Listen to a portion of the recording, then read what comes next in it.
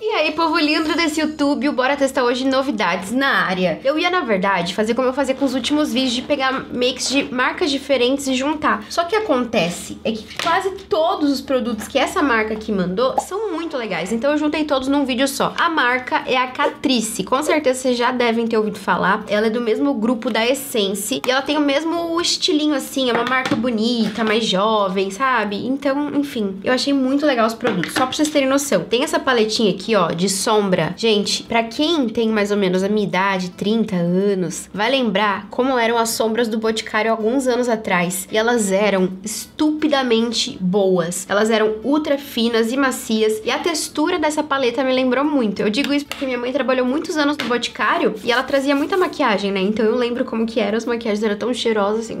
Nostalgia, amo Bot. E é isso, olhem, olhem as embalagens desses blushes, ó. Vai ter blush. Eles mandaram também alguns batons que eu fiz um testezinho. Falei, gente, pelo amor de Deus. É um batom em lápis. Mas, gente, eles são muito macios. Aqui a gente consegue ver as cores, ó. Enfim, tem muita coisa legal nesse vídeo. Se você não é inscrita, se inscreve aqui, gente. A gente tem um milhão pra bater até dezembro. Ajuda a gente a crescer. Obrigada. Bom, antes da gente começar a aplicar, eu vou tampar as olheiras. Eu tô gostando bastante de usar, como corretivo agora, o, a base da Bruna Tavares. Mais do que o próprio corretivo dela. Gente, deixa eu falar um negócio. Eu gosto muito do corretivo da Bruna Tavares, só que eu não consigo usar muito ele no dia a dia, porque eu tenho sensação que o corretivo dela, ele acaba um pouco craquelado no final do dia. Apesar dele ter uma cobertura e uma textura muito gostosa, eu ainda não, tipo, me apaixonei, sabe? Pelo corretivo. Então, se for pra usar o corretivo ou a base, a base funciona muito melhor pra mim. Eu uso a cor L30. Olha isso, gente. Eu passei só na olheira e fui trazendo o restinho do produto pro resto do rosto. E aí eu trouxe só até aqui, sabe? Que aí ele vai ficando mais difuso e vai ficando natural. Eu amo essa base. Bora lá, meu povo. Vou começar usando este blush aqui, Chic Fleet. É um blush em bastão. Ó, a embalagem aqui bonitinha. Aí depois a gente aplica aquele blush em pó pra selar. Não tem cheiro de nada. Vou trazer vocês um pouquinho mais pra cá. E aí, ó, eu vou colocar ele bem aqui nessa região. Ó, ele é mais durinho. Meu Deus, que cor chamativa. Não estava esperando isso. Vou tentar espalhar com um pincelzinho Duo Fiber pra ficar mais natural. Olha, ele é cremoso, gente, mas ele é tipo assim, um cremoso super esfumável. Não é aquele cremoso derretido. É como se ele fosse velvet, sabe? Ele tá mais pra uma textura aveludada do que um cremoso oleoso. Olha, que bonito como espalhou fácil. Amei! Agora eu quero outras cores. Porque esse tom aqui eu não costumo usar muito, sabe? Eu gosto de uma coisa mais séria, mais sóbria. Esse aqui já tá muito aceso pra mim, mas olha que lindo. Vou testar usando de outra forma. A gente passa no pincel, que aí também fica mais fácil, né? De você não tirar a base ou qualquer outra coisa que você tem por baixo. Também funciona muito. Fica até mais fácil de você controlar um pouco a, a intensidade do produto. Nossa, gente, que lindo. Sério. Se eu passar mais blush aqui, gente, eu vou ficar o palhacitos. Porque eu já tô achando bem pigmentada. Bem strawberry, né, gatas? Bem strawberry makeup. Vamos aproveitar agora pra selar essa pele. E aí, quem sabe, a gente passa o outro blush. Primeiro, vou selar a área dos olhos. Eu tô usando o pó da Lu Ferraz. Bem pouquinho. E com o mesmo pincel, passar no resto do rosto, só pra não ficar tão brilhoso. Eu gosto de visto, mas não gosto de uma sensação de pele oleosa, brilhosa demais. Gente, esse blush é mega pigmentado, olha isso aqui. Arrasou. Passaria, teria passado menos, teria passado menos. Olha isso. Vamos aproveitar então. Vou ficar o Peppa Pig, mas, mas estamos aqui pra testar. O Air Blush Glow. Eles me mandaram o Air Blush Matte, que é esse aqui, ó. E o Glow, tá vendo? Linda a embalagem, né? E aí, gente, o Glow, ele tá bem aqui, ó. Nessa faixa do meio. Esse daqui são mates e essas faixinhas aqui são blushes mais brilhosos. É um blush mais brilhoso, na real. Ai, que embalagem linda, gente. Olha isso. Ó, parece, mas não é o mesmo pincel, tá? É que eu sou um pouco viciada no A29. Aí vamos selar esse blush aqui, ó. Eu acho que não vai dar tanto glow, porque tem muito pouquinho glow aqui. Deixa eu ver de perto. Não, até que deu, ó. Ah, dá. É um glow fininho, fininho. É até uma ideia pra você o blush durar mais. Você passa um cremoso e na hora de selar, você sela com um blush em pó. Cuidado, tá? Cuidado. Se você não gosta de chinelado, você pode ficar chineleta. E aí, se quiser tirar um pouco esse excesso, é só vir com um pó translúcido e isso dá uma esfumadinha nas bordinhas. Aí você deixa ele mais difuso. Gente, amei. Bonitíssima. O glow, ele ficou mais sutil porque eu apliquei pouco produto, justamente porque eu já tinha aqui um blush embaixo, né? Gente, Agora, a paleta. É, eu vejo que vocês voltaram a reclamar que eu só faço sombra marrom. Gente, eu realmente faço muita sombra marrom porque eu amo marrom. Vou fazer o meu máximo para quando a gente tiver paletas que não são só marrom, eu usar as outras cores, tá? Mas nesse caso a gente não tem como fugir. É uma paleta inteira de tons nudes. Só que adivinhem só, eu não vou usar marrom. Gostaram, né? Fiz todo esse discurso e não vou usar marrom. Por quê? Porque eu não quero fazer uma sombra com esfumado, enfim, aquela mesma coisa que eu sempre faço. Eu quero trazer um iluminado, como se tivesse passado um iluminador no olho, para manter essa, essa maquiagem assim mais natural. Então, primeiro, deixa eu fazer um swatch para vocês aqui dos quatro tons cintilantes da paleta. Eu amo esse sensorial de sombra, que é bem fininho, que nem eu falei para vocês no começo. Olha isso, gente.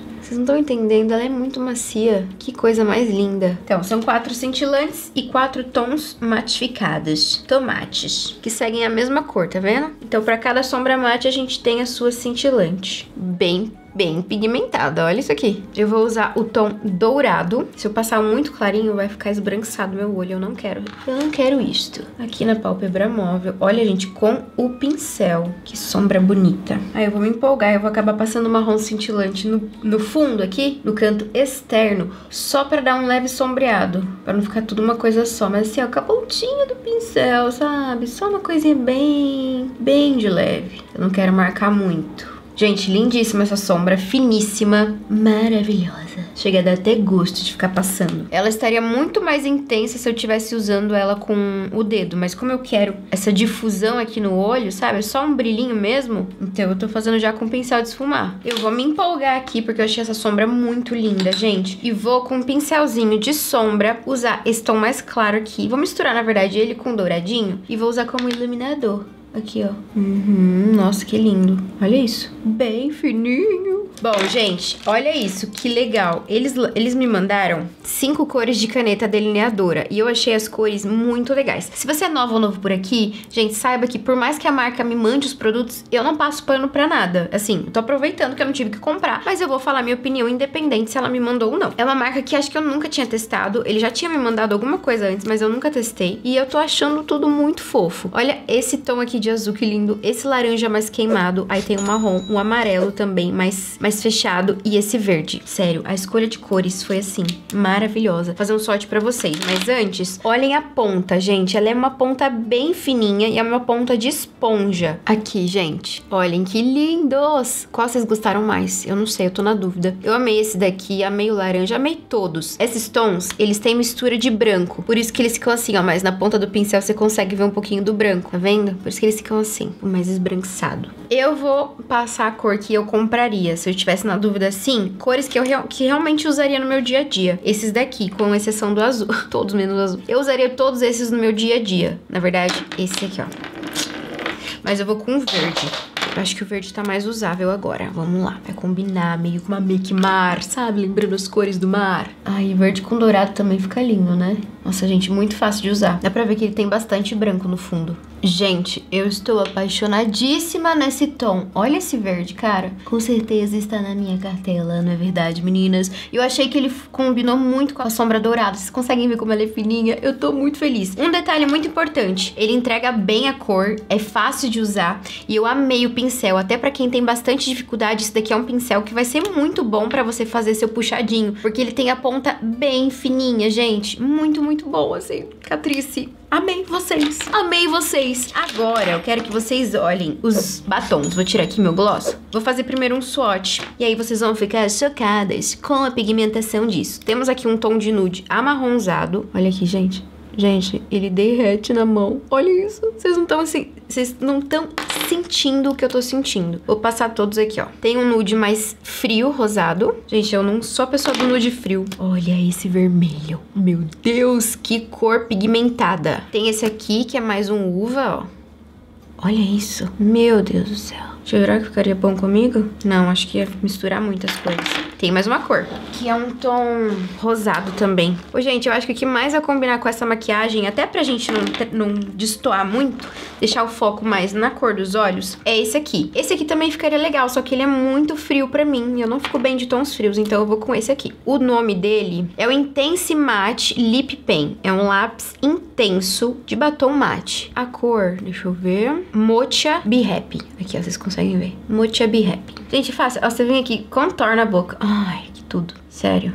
Muito prático. É um lápis Jumbo pra boca. Contorna. Uhum. Dá até pra usar como contorno, né? Se você quiser. E aí passa. Nossa, que cor linda! Ainda assim, ele é frio. Hum, eu me sinto horrorosa de batom frio, gente. Faça batons quentes. Mas ele é lindo, né? Olha isso. Uhum, uhum, uhum. Gente, de verdade, não existe nada dessa marca que eu tenha testado aqui e não gostado. Pelo contrário, eu achei tudo muito bom, tudo muito legal. Eu vou deixar pra vocês os links do que eu encontrar aqui na descrição do- das coisas que eu mostrei. E assim, Catrice, tem o grande selo Gabrielinha de aprovação. Eu achei, gente, bem assim, resumido. Os produtos muito fáceis de usar. Então, se você tem dificuldade de passar batom, isso aqui, gente, ele é dois em um. Ele é um contorno e ele é um batom. Muito fácil. Então, você não vai borrar, porque é um, um lápis, sabe?